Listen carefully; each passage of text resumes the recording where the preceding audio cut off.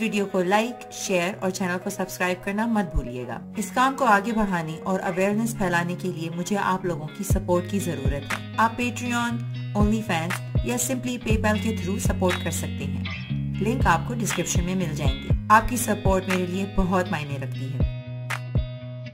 जी क्या हाल है आपका? हाँ जी एम आई ऑडिबल ऑडिबल एक सेकंड पीके जी आपको नीचे लिंक दे रही हूँ उस पर क्लिक कीजिए और आप यहाँ पर आके मुझको देख बात कर सकते हैं। जी। तो आपने मतलब सरप्राइज़ में येलो ड्रेस ही पहना था? मैंने वो फरा गुज्जर की ड्रेस को लेके कमेंट किया था ना कि पिंकी हाँ, पीरनी की फ्रेंड तो सारा माल लेके फरा गुज्जर दुबई भाग गई ना अभी। हाँ हाँ, हाँ मैं देख रही थी वो ट्विटर पे ट्रेंड चल रहा था मगर वो जो पिक्चर वायरल हुई है मैं मैंने कहा उसका उनको वो दिख रहा है इतना महँगा पर्स दिख गया मगर वो बंदी ट्रेवल किस तरह कर रही है वो देखो ना यार वो प्राइवेट जेट है पता नहीं फ़र्स्ट क्लास बिज़नेस क्लास वो नहीं देखा किसी को? नहीं वो भी दिखा। ये मैं अनीक नाजी को फॉलो करता हूँ तो वो काफ़ी डिटेल में मतलब बंदा डाइसेक्ट करता है। इज़ वेरी गुड एंड एक चीज़ और ये लाइक रमज़ान का uh, मुकद्दस महीना है। रमज़ान के मुकद्दस महीने में रियासत मदीना के ठेकेदार की सरकार गिरी है जी। ये तो पोइटिक जस्टिस हुई है। तो मुझे अच्छा मुझे जरा थोड़ा समझाइए हुआ क्या? Because I don't like follow नहीं हो क्या रहा था? हाँ मैं बताता हूँ। इन्होंने नो हाँ। कॉन्फिडेंस करा कि भैया हम इसकी सरकार जो थी ये सारे वोट नहीं थे ये और पार्टीज़ का सपोर्ट था इसको। एम एम थी और दो तीन और छोटी छोटी जो रीजनल पार्टीज़ हैं उन्होंने इमरान खान को सपोर्ट किया हुआ था। तो जब अच्छा। ये भुट्टो वगैरह जितने से ये सारे Bilawal Bhutto Nawaz Sharif party and the this guy Fazlu Rehman primarily इन लोगों ने मिलकर डिक्लेयर किया कि हम इसके खिलाफ नो कॉन्फिडेंस कर रहे हैं कौन हमें सपोर्ट करेगा? तो उस टाइम जो छोटी छोटी पार्टीज़ थी और जो इंडिपेंडेंट होते हैं उन्होंने कहा ठीक है हम लोग नो कॉन्फिडेंस में सपोर्ट करेंगे। नो कॉन्फिडेंस में क्या होता है कि असेंबली कहती है कि भैया इनको आ, हम इसको सपोर्ट नहीं करते और इसकी सरकार गिराओ। तो जब इसकी और इसके सपोर्टर्स जो थे तीस करीब आधे तो इसके खुद के बंदे भी चले गए। तो अब ये लटकाता रहा इस चीज़ को करीब दो से तीन दिन तक। फिर इसने पहले तो इसने ये बोला कि मैं दस लाख लोग जमा करूँगा और जिसको मेरे खिलाफ वोट करना है ना वो दस लाख लोगों के हुजूम में से निकल के जाएगा। ये सीधे सीधे गुंडा कर दी है। चलो वो भी नहीं कर पाया ये।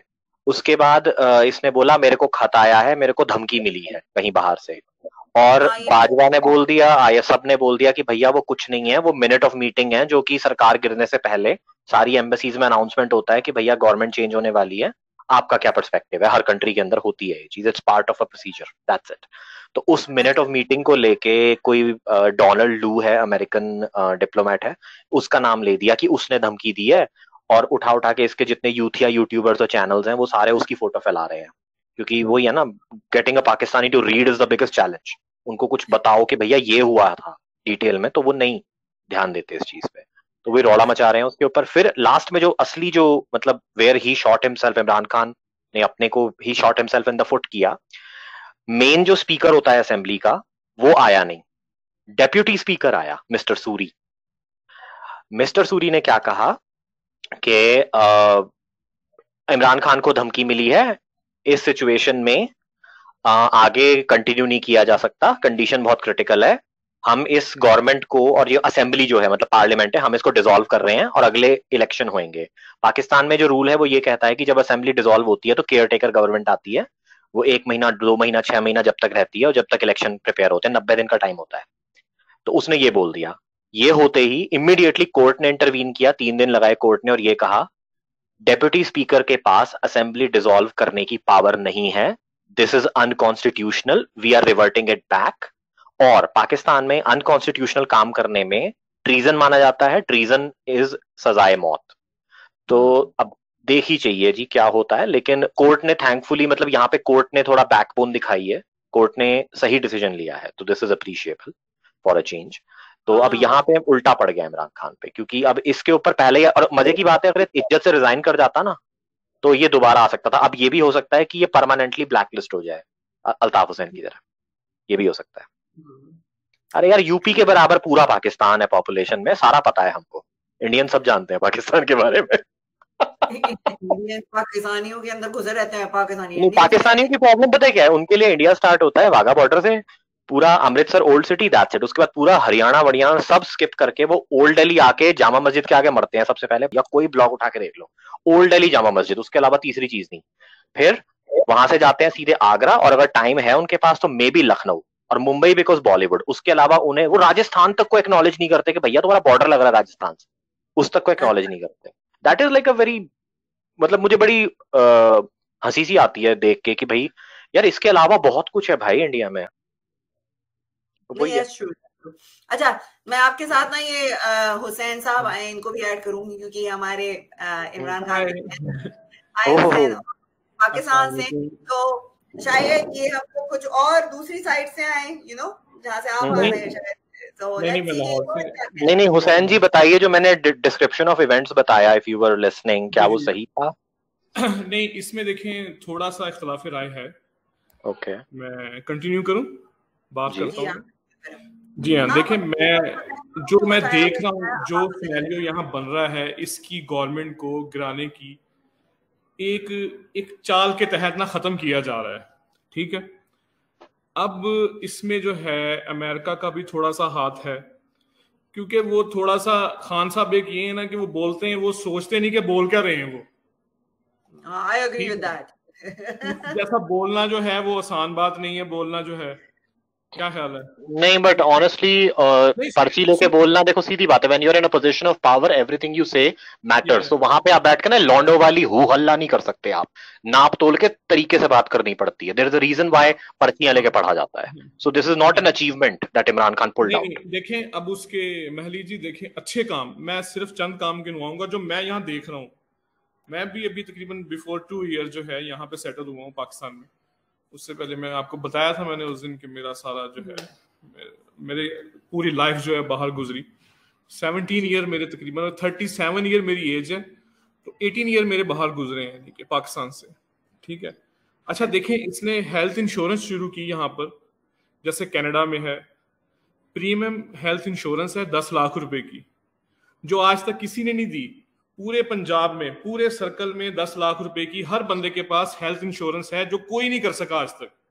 पाकिस्तान में हर किसी के पास है यानी अगर आप और और और पिछले तीस साल में ना पाकिस्तान में इसने फ़ूड फ़ूड फ़ूड का इसने क्राइसिस क्रिएट कर दिया बंदे ने जो पाकिस्तान की हिस्ट्री में कभी नहीं हुआ। बैठा हूँ यार नहीं नहीं ये सुने सुना करें सुनने सुनने का हौसला करें। नहीं नहीं ठीक है that's fine I am just countering your points I am not I am not disagreeing with you I am just countering your points that's नहीं आप कह रहे थे इससे वेट वेट प्लीज़ मुझे म्यूट नहीं करने देना। मैं आप दोनों को बात करने देती हूँ। जी पहले इनको खत्म कर लेने दें इनके पॉइंट्स फिर आप लिख मेरे पास क्योंकि पाँच ही मिनट है मेरा फिर काम शुरू हो जाएगा तो हाँ, अच्छा। तो हुसैन जी आप कह रहे हो कि जैसे कनाडा में मैं यहाँ पर हॉस्पिटल में जाती हूँ तो मुझे प्रीमियम हेल्थ इंश्योरेंस जो है जो प्रीमियम है आप देखें कि हर आदमी के पास मेरे पास भी है मेरे घर में पाँच अफराद हैं सबके पास अलग अलग दस दस लाख रुपए की हेल्थ इंश्योरेंस जेब में मौजूद है इस टाइम आप जाएँ कोई एक्सीडेंटली केस हो जाता है कुछ भी हो जाता है आप अपना इलाज करवाएँ फ्री ऑफ़ कॉस्ट और किसी भी प्राइवेट हॉस्पिटल में जहाँ पे आम आदमी को जाने नहीं दिया जाता था इसका एक अच्छा काम जो बहुत यानी कि वो एक चलो वो बात करता है रियासत मदीना ये वो सब ठीक है लेकिन ये काम मैंने स्कैंडिनेविया में देखा है मैंने स्वीडन में। नहीं दैट्स गुड दैट्स गुड मैंने क्योंकि एहसास प्रोग्राम बोलते हैं इसको क्या बोलते हैं? एहसास प्रोग्राम क्या कहते हैं इसको? नहीं नहीं हेल्थ इंश्योरेंस जो है नहीं नहीं इसका नाम क्या है प्रोग्राम का स्पेसिफिक प्रोग्राम हाँ एहसास है ना इसका नाम हाँ आई अबाउट दूसरा काम इसने क्या किया है यहाँ पर? जो बेघर अफराद थे मान लीजिए बहुत बड़ी बात है बहुत बड़ी अचीवमेंट है ठीक है ना? बेघर अफराद और जो रेंट पर रह रहे थे जैसे आप लोग रेंट पे हम लोग रहते हैं कहीं जाके तो इन्होंने वो काम किया है कि आप वो रेंट जो है गवर्नमेंट को पे करें यानी आपको घर दे दिया जाएगा उसमें। कम आमदनी वाले What do you call that program? What's the name of that program? Ehsaas program Ehsaas में ही है वो चीज़ भी। ओके ठीक है। हाउसिंग हाँ हाउसिंग प्रोग्राम हाँ जी okay. हाँ। जी। ठीक है। अच्छा फिर इन्होंने जो अच्छा एक काम किया जो मुझे नज़र आया देखो मुझे इससे बहुत सारे इख्तलाफ आते हैं इससे। ठीक है कि जैसे जो नौजवान है जो यूथ है यहाँ पर वो पाँच लाख से लेकर एक करोड़ रुपए तक कर्ज बैंक से बिल्कुल आसानी से ले सकता है। अगर आप उस बात पे पूरा उतर रहे हैं उनकी, बैंक की, पहले नहीं होता था ऐसे। पहले बैंकों में आपको पता है, यहाँ पे जाने नहीं दिया जाता है आम आदमी को, ठीक है ना?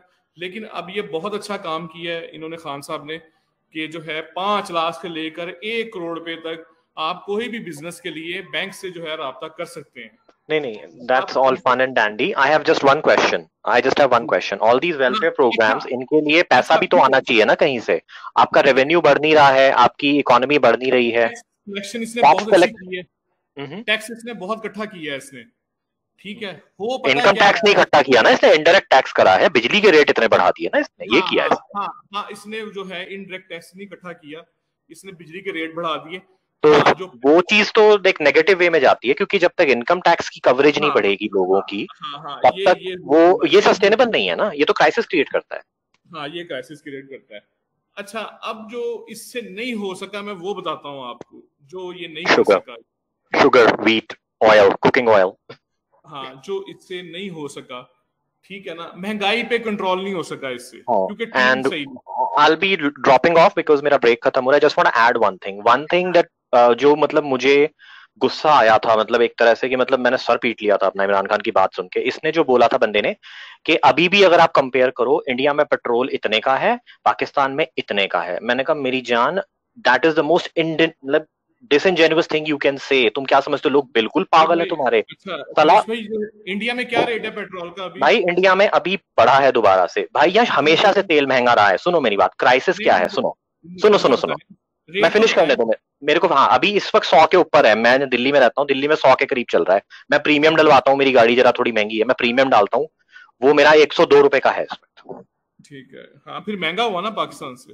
हाँ वो बात ठीक है। लेकिन बात ये है सुनो मेरी बात अब। जो वहाँ पर। अरे भाई लॉजिकल फैलेसी तो सुन ले पहले मेरी। मेरे को क्योंकि आई जस्ट वन मिनट ठीक है? I have to drop off तो व्हाट ही डिड वाज देखो यहाँ शुरू से महँगा है तेल।